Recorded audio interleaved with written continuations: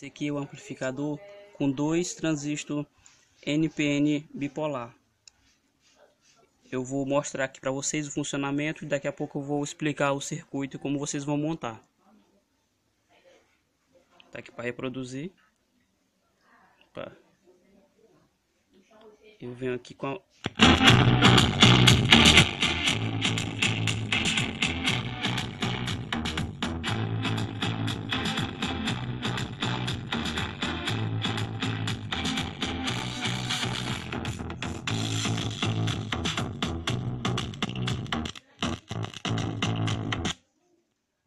saiu aqui.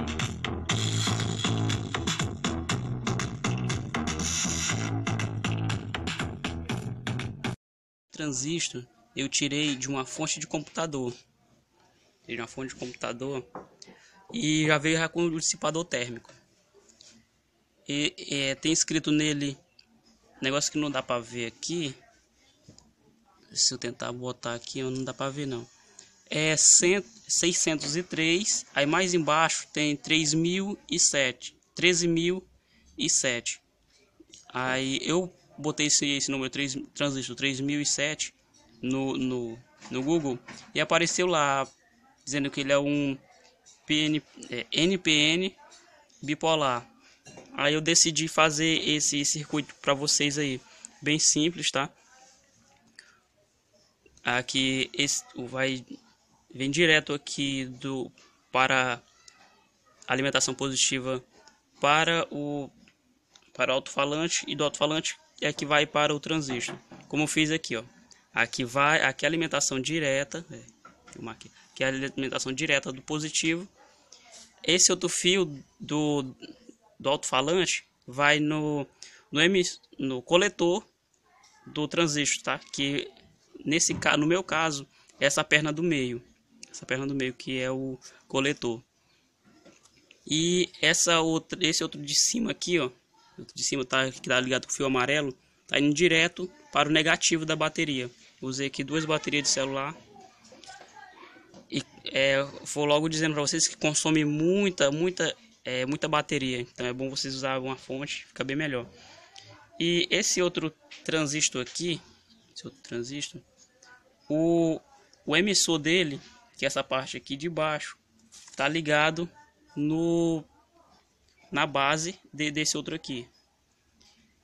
E a alimentação aqui, ó, vem, vem direto do positivo, nesse, nesse fio aqui, vem direto do positivo, essa alimentação ali, desse fio mais, esse fio vermelho ali, esse aqui é o do, do alto-falante, esse aqui é o, esse positivo vai direto no, no coletor, que é essa mesmo, mesma parte do circuito aqui, ó, vai direto, ó na base, a base que esse aqui de cima, tá ligado em um resistor.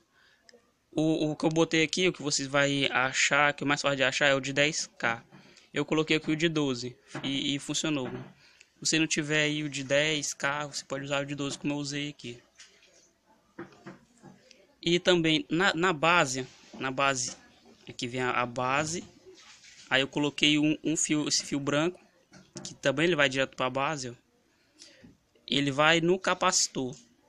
Quando passa pelo capacitor, é onde entra a entrada de áudio, ó.